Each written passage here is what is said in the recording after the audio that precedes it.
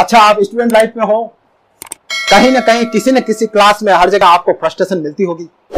मिलती है फ्रस्ट्रेशन निराशा आती है आपके जीवन में? कि यार, मेरे मार्क्स इस क्लास में मेरे मार्क्स अच्छे नहीं आए निराशा क्या होती है? मैं बताता हूँ आपको। मैं ज़्यादा कहीं और का उदाहरण नहीं दूँगा आपको। मेरे घर का उदाहरण दूँगा आपको। माई सिस्टर इन लो 2011 में सेकंड ग्रेड एग्ज़ाम अटेम्प्ट किया था। वन परसेंट से रह गए थे। निराशा लगी, खूब पढ़े की, हताश हुए। फिर वापस लिखा, यार, दोबारा पढ़िए, यार, कोई बात नहीं, दोबारा पढ़िए 2012 में अगेन थर्ड ग्रेड का एग्ज़ाम दिया। मेरी वाइफ ने उन्होंने दोनों ने साथ में दिया। My wife was selected she is not selected she again firsted जब आप दो जने साथ में पढ़ते हो ना, भले भाई हो, भले बहन हो, लेकिन जब साथ वाला सिलेक्ट हो जाए ना तो आपको कैसा फील होता है? होता है ना? कभी आपके जीवन में ऐसा हुआ होगा। आपको थोड़ा बेड फील होता है, यार, हम दोनों ने साथ में पढ़े की, और इसका सिलेक्शन हो गया मेरा नहीं, और दोनों बने थी। उसका फिर भी वो हताशा से भर गए। वो निराश, उदास हो गए। फिर भी उन्होंने, फिर भी हमने, सबने उन्हें समझा, कोई बात नहीं, आगे आप पढ़े करो, हो सकता है भगवान ने आपके लिए अच्छा किया। 2013 में अगेन एग्ज़ाम हुआ थर्ड ग्रेड का। एक नंबर से रह गए। कितने एक नंबर से। अगेन वापस। निराश, हताश, उदास, तीन चार दिन, पाँच दिन, बिल्कुल कमरा बंद कर दिया, रोना, धोना, सब कुछ चल गया। मैं इतने एग्ज़ाम दे गए एक नंबर से रह गए। वॉट इज़ दिस फिर समझाया कि नहीं, हो सकता है तुम्हारे लिए कुछ बेटर हो। 2014 में सेकंड ग्रेड एग्ज़ाम दिया। फिर पाँच नंबर से रह गए।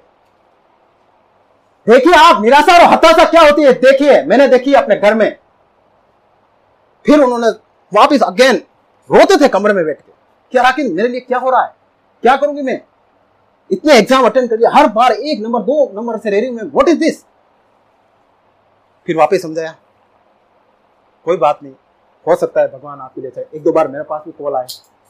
तो मैंने भी कहा, हो सकता है भगवान ने आपके लिए कुछ अच्छा सोचा हो। आप तैयारी करते मैंने यही कहा था, आप, भगवान ने आपके लिए अच्छा सोचा है, लेकिन अगर आप मेहनत करेंगे ना, तभी भगवान आपके लिए अच्छा करेंगे। अगर आपने मेहनत यहाँ से छोड़ दी तो भगवान आपके लिए कभी अच्छा एक बात ध्यान रखना जीवन में, मेरे साथ भी हुआ है। भगवान उसी की मदद करते हैं, जो अपनी खुद की मदद करता है। भगवान कभी आपको आके नहीं दे देंगे? ये लीजिए, ये तुम्हारे लिए मेहनत तो आपको करनी पड़ेगी। लेकिन हाँ, वो मेहनत का जब फल देंगे ना तब ऐसा देंगे कि छप्पर फाड़ के देंगे। 2017 फ़र्स्ट ग्रेड हिंदी की वैकेंसी निकली। She was selected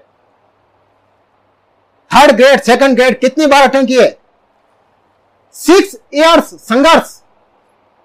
और दो साल उन्होंने क्या संघर्ष किया, पता आपको? इस फ़र्स्ट ग्रेड की वैकेंसी उससे पहले उन्होंने अपने आप को कमरे में बंद कर लिया और एक चार्ट बनाया पढ़ाई का। मैंने खुद ने देखा। कितने टाइम क्या पढ़ना है, किस वक्त क्या पढ़ना है। शेड्यूल दो तीन बार मैं वहाँ पे गया भी था। मेरे पास आते तो हाय हेलो करके वापस कमरे में बंद हो जाते थे। मेरे से पाँच मिनट की बात नहीं करते थे। मैं सोचता था, यार, क्या यार, मैं आया हूँ, मैं तो पाँच मिनट की बात नहीं कमरे में जाके पढ़ाई करने लग जाता मेरे को थोड़ा ओल्ड फील होता था, यार what is it is not good यार.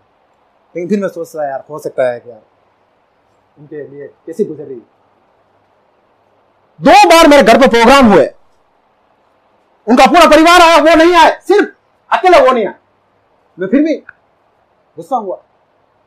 This is a real story you can ask to Abhay Singh ji दो बार मैं गुस्सा हुआ यार प्रोग्राम है यार, साल में एक दो बार होते प्रोग्राम में तो आ सकते हैं। प्रोग्राम में नहीं आया। मैंने उनको फ़ोन करके बोला, यार, नहीं, आपने अच्छा नहीं किया यार, मेरे तो प्रोग्राम क्या रोज तो थोड़ी हो रहा क्या? फिर उन्होंने कहा, जया जी, मैं पढ़ाई कर रही हूँ, मैं नहीं आ सकती हूँ।